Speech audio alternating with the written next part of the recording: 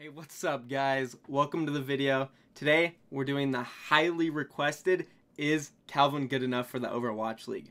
This is what you guys wanted, so I'm delivering it. And for that guys, go ahead and drop a like on this video, drop a subscription to the channel, and get ready because the video's gonna be lit.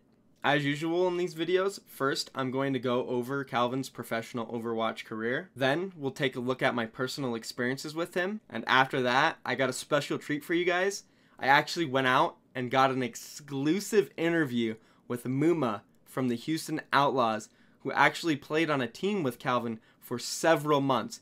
He's going to give us a lot of awesome insight on what it's like to play with Calvin and how he was as a teammate and player.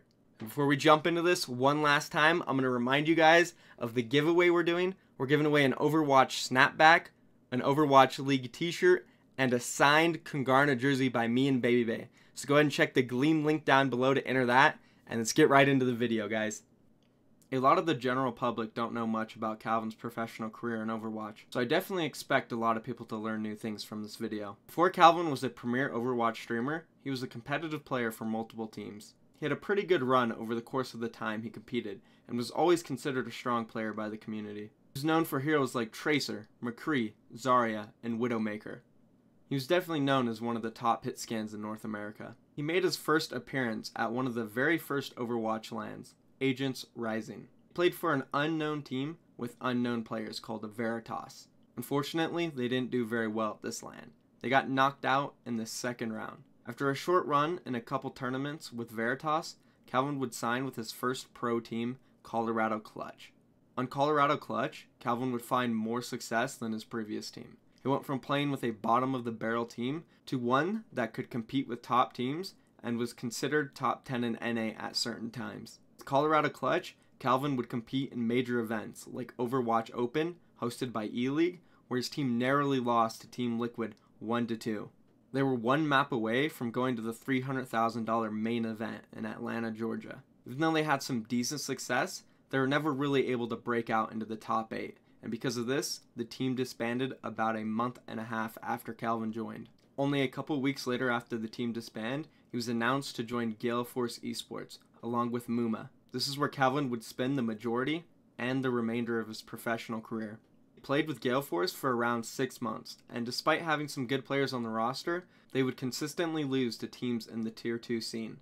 And at their best, they made it to the finals once of a Rivalcade Weekly, where they lost handily to Citizen 7.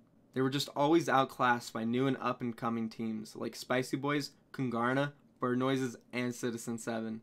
Near the end of his run on Gale Force Esports, Calvin's stream began to attract a lot of attention, especially on Reddit.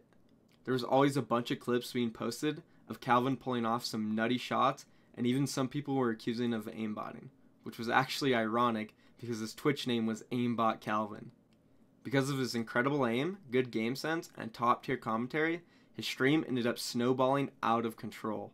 This put Calvin in a position where he no longer needed to compete as a pro and could make a great living off of full time streaming, and he decided to do exactly that. He would slowly stop competing with Gale Force Esports around February. He played his last tournament with them in the Inter Overwatch Arena, where they lost to Renegades 2 0 in the semifinals. This was it. This was the end, the last match Calvin ever played as a professional Overwatch player. Alright, guys, now that I've gone over his whole professional career, I'm going to go over my experiences competing against him. It was actually my second tournament ever played where I got to play against Calvin when he was on Colorado Clutch.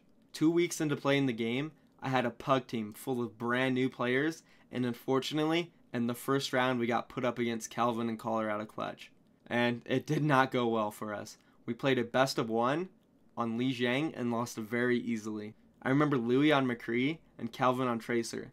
They were just absolutely destroying our entire team effortlessly. After this, I wouldn't run into him for a while. It wouldn't be till November when he was on Gale Force Esports, and this time, my team and I were far more experienced. We were currently on a tear in the Tier 2 scene, winning multiple tournaments in a row. It was the Rivalcade weekly number 5 that we would face them in. And like in our first match, in fairly easy fashion, a team dominated. But this time, it was ours. And a best of one on Dorado, we took them out and went on to win the tournament. Calvin was playing Zarya for Gale Force in triple tank meta, and I felt he did strong individually, but the meta was centered a lot around teamwork and communication, and it was very easy to tell his team lacked in that department. This would be the last time I had an opportunity to compete against Calvin. Surprisingly, I only encountered him twice over our careers.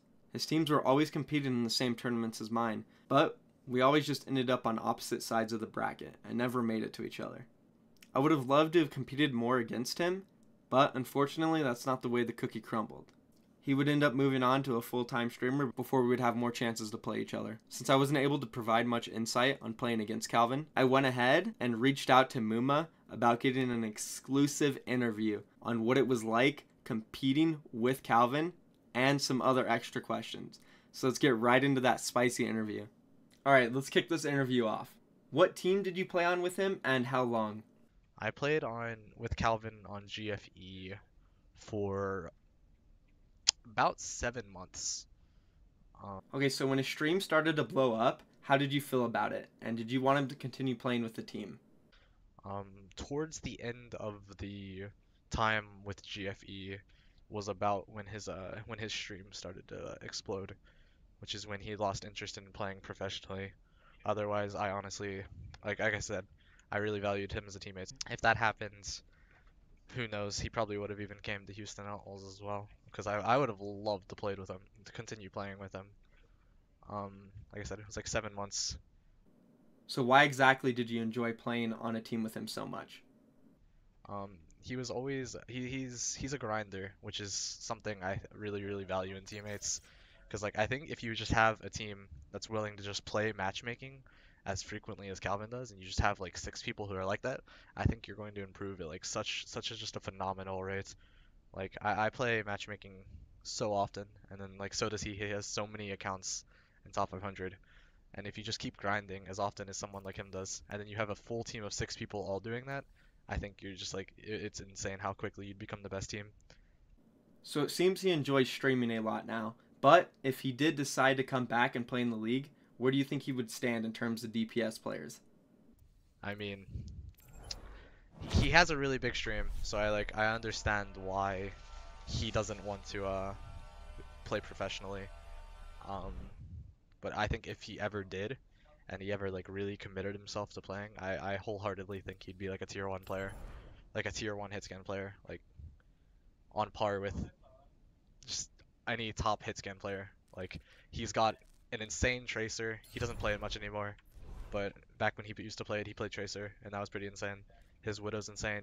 Nutty Zarya, Nutty Soldier, and McCree, obviously. Um, and he's just a grinder, and like, that's just so important. All right, thank you for the interview, Muma. Those are all the questions I have for you. But real quick, do you have any final thoughts on Calvin? Yeah, I uh, there's there's not a lot of players that I will really hype up if I'm being honest, but Calvin is definitely one of them. I I think it's slight. Well, nah. I'll, I'll just I'll leave it there. I'll leave it there.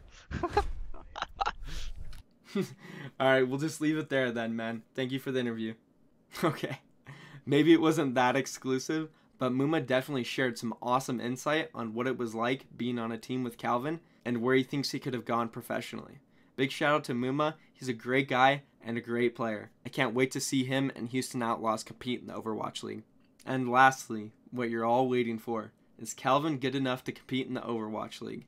And if so, where does he stand in comparison to the other DPS players in the league? Well, guys, if I'm being completely honest, I believe Calvin has the raw mechanics to challenge players in the Overwatch League. He proves on the ladder every season that he can easily carry games in high elo with other professional players in it. He finishes each season with multiple accounts in the top 50, and on his main account, he is always top 10. While doing so, He's always pulling off insane plays that leave people dumbfounded and wondering how he did that. For me, this is definitely enough proof that mechanically he could easily hold his own in the Overwatch League. Now, when it comes to being a good teammate and working well with their team, I'm not sure. It would definitely take some more time for him to get back into the groove of scrimming and practicing daily with an actual team rather than just playing ranked. Going based off of Muma's insight, though, he definitely seems like he was a good teammate and someone who would work hard to quickly get rid of the team play rust. So, because of this, With time, I believe that he could easily compete in the Overwatch League and be a solid DPS player and teammate. All in all, the heights that Calvin could reach in the Overwatch League are unknown, and we might not ever be able to see. Maybe one day Calvin will get burnt out of streaming and want to compete again. I don't know. I'm crossing my fingers that that potentially happens because I personally would love to see how he could do in the league. But again, we'll just never know unless he does. So, Calvin, if you're watching, think about it, man. Think about it. All right. And there you guys have it. Calvin is good enough to be in the Overwatch League, in my opinion.